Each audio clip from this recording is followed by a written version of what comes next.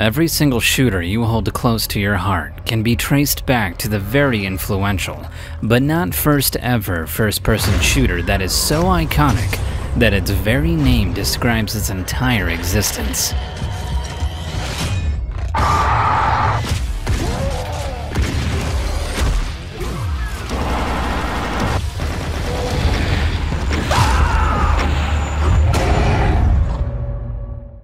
The gaming industry is worth billions of dollars. From shooters to platformers, survival to battle royale, and in hopes to captivating the hearts of the next generation of gamers. Thousands of games are developed every year. Some hit, some miss, some shake the world. Let's travel back in time to the year 1993. NASA loses contact with Mars Observer. Jurassic Park is winning the hearts of every moviegoer. Barney had been summoned from the depths of which he came. But what could possibly beat all this? Well, put out your ammo and lay out a warm glass of demon milk, cause Santa Doomslayer is coming to town. After an eventful year, December had finally arrived, and id Software was packing a hell of a Christmas gift for all the naughty boys and girls out there. Doom had been unleashed into the gaming world. You play as the majestic terror of demons himself, Doom Guy, where you have to fight your way out of hell by doing the only thing he knows how. That's right, sending every demon he meets to human resources because unemployment is calling and this lady ain't packing a severance for the after afterlife. This jewel of a game had been developed by and published by id Software for MS-DOS and was composed of three episodes.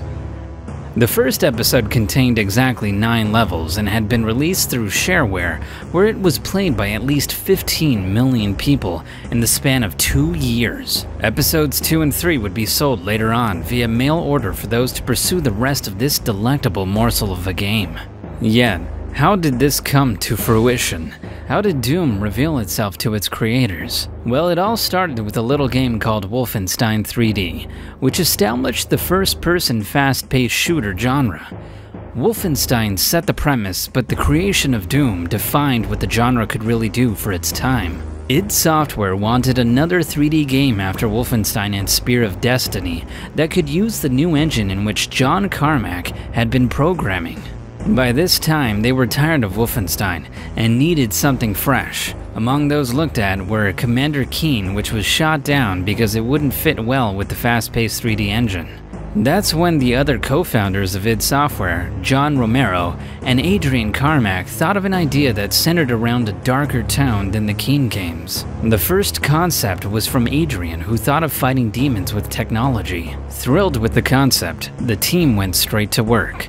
Majority of the development cycle took place in Suite 666, which was a dark office the main team had moved into.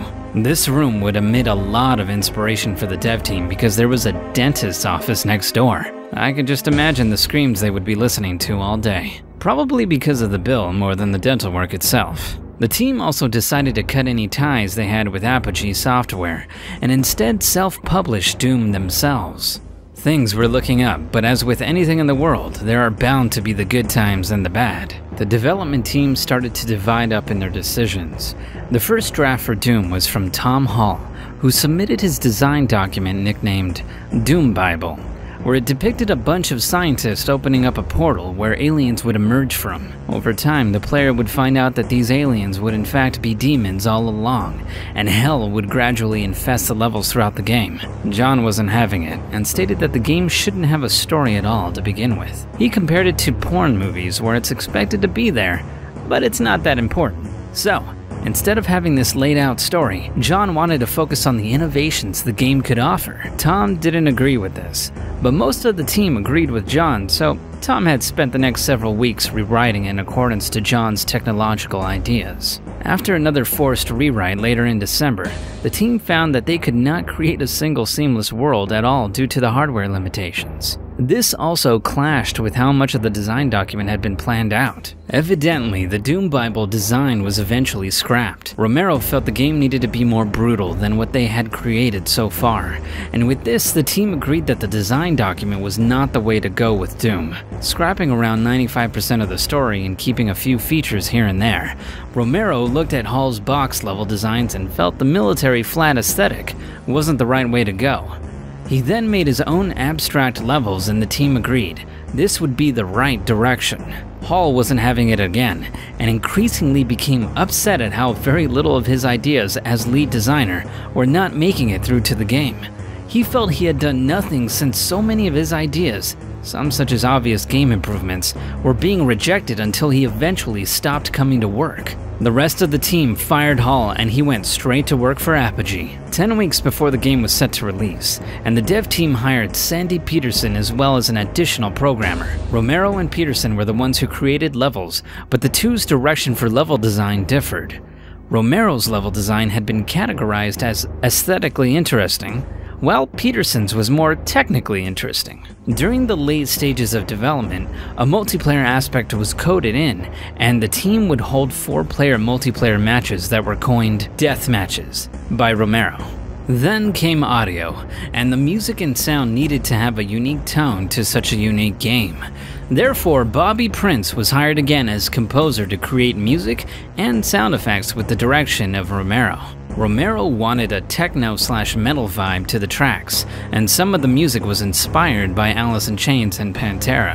However, Prince believed ambient music was the key and decided to make both what Romero and he wanted, hoping that it would convince the team to place both in the game. Everything was in place, and id was just about ready to release Doom into the world.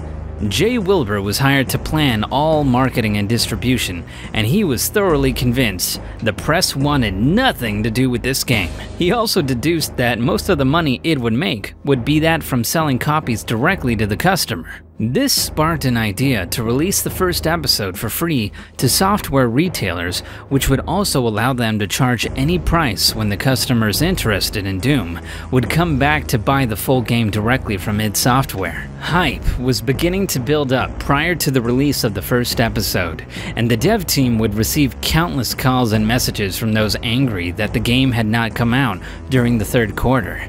It wasn't until midnight on December 10th, 1993, that id released the first episode onto the world, so that it could spread like an unwanted infection. 30 minutes after release, 10,000 people attempted to download the game all at once, which crashed the University of Wisconsin Parkside FTP network. Hours passed, and the university was already banning Doom multiplayer games since there was such a rush for Doom. It had gotten so out of hand that employees from major work environments had their time distracted into Doom rather than working. This caused the networks of those work environments to crash as well. But it was too late. Doom was your religion. If you did not eat Doom, you would soon succumb to it. If you did not sleep and dream about Doom, Romero himself would be knocking on your door, asking why haven't you had your daily dose of ass-kicking demons yet? The game was number one in the computer gaming world, and nothing else was as close to it during its time. It was even calculated that in 1995, Doom would be installed on more machines worldwide than Windows 95. With Microsoft hiring id to port Doom to Windows, they promoted the operating system as a gaming platform, which was helmed by our Lord Gaben himself, Gabe Newell. It was so popular that even Bill Gates contemplated about buying the company. The deed had been done, and Doom was granted praise as being one of the most important and influential titles in gaming history. This game defined the FPS genre and would inspire countless of games that we know of today. Doom is so popular that it remains relevant to this very day with its own reboot from Bethesda, whom is helming development of Doom 2016 and the new Doom Eternal coming in 2020. Doom the video game shook the world.